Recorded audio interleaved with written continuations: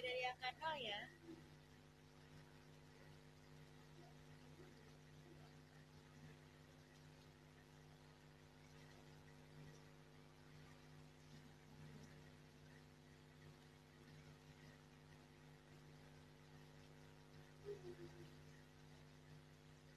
Terima kasih, hati-hati di jalan.